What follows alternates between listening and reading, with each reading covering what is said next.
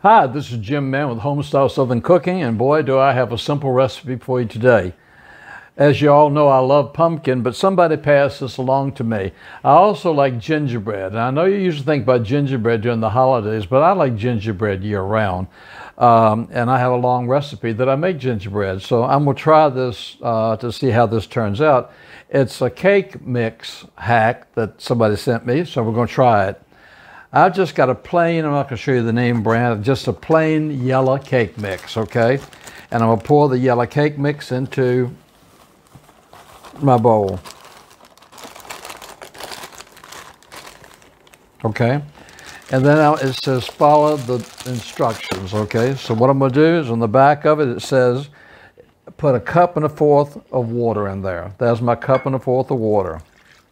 It says to that cup and a fourth of water, add one half a cup of oil. That's my one half a cup of oil. And then it calls for three eggs. So I'm just making this cake mix just as though you were making, um, just as though you were making a yellow cake.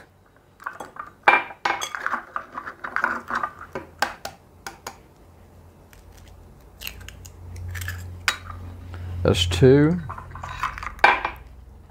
And here's number three. I've got a couple more that I want to bring to you next couple of days that are really exciting. I can't wait to bring them to you. So now what I'm going to do is I'm just going to mix this up as though I'm doing a cake mix. But first, uh, you know, I like to stir it around a little bit so it doesn't cause such a dust storm.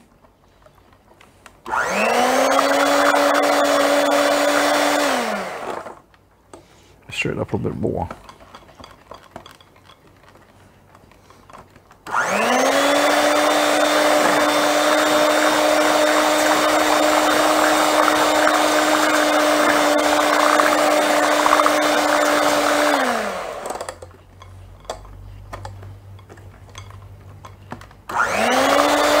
I could have could have done this in my KitchenAid, but I decided just to use my hand mixer. It's a lot simpler.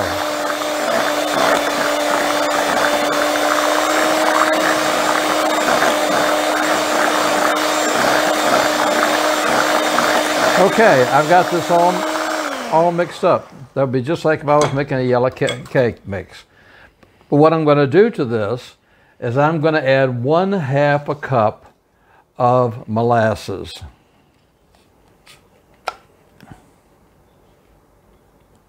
I guess my one half cup of molasses.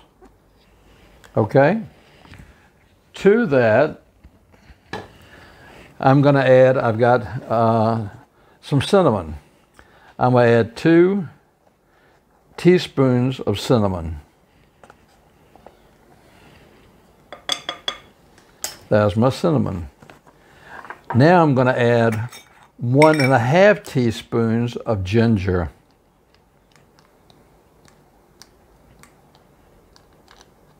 As one. I should have my other half measure out, but this is fine. And a half of ginger.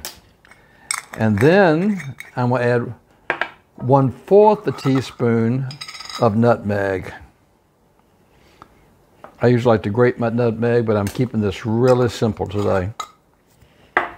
Now I'll stir this in with my cake mix.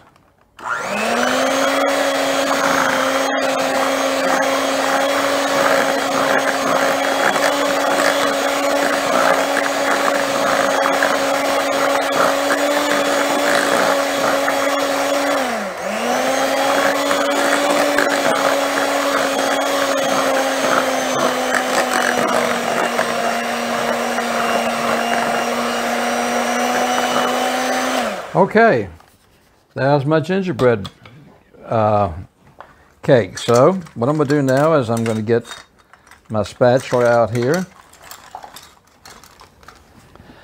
I've got a 9 by 9 cake dish. Uh, if you wanted to put it in another pan, you could, but I'm just going to put it in this 9 by 9 and make a square cake. I'm going to spray it And then I'm going to make a mess here, but after that, I'm going to take and put right into my, my pan here. I've got my oven set on 350 and this is going to go in the oven for about 30 to 35 minutes and then we'll come back and we'll, we'll see how this recipe turns out. Um, I'm really excited to see myself. Like I said, a friend of mine sent this to me and so I'm going to try it. It certainly smells like gingerbread and it certainly looks like gingerbread. So I'm going to put this in my oven now for about uh, 30, 35 minutes. Then I'll be right back with you. Hi, our, our, gingerbread cake is out of the oven and it's cooled down. It was in the oven about 35 minutes. So we'll give it a cut now and we'll see, we'll see what it looks like. So you saw how simple it was to make this. So I'm dying to try to see what it tastes like. So,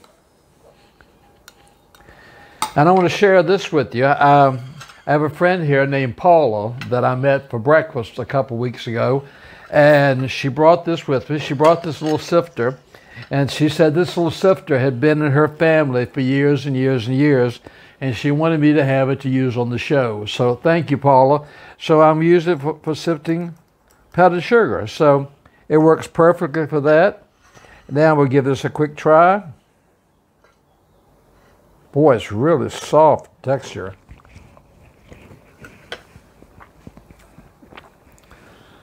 Another one you need to try. Who would have thought gingerbread cake out of a regular cake mix?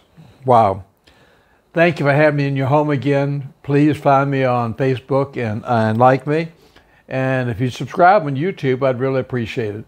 Until next time, try this gingerbread cake from a regular cake. It was so quick and so easy to make. You'll be glad you did with a scoop of ice cream. You take care of yourself. This is Jim Mann saying, God bless. This is a great time to hit the subscribe button and hit the bell so you'll never miss another recipe.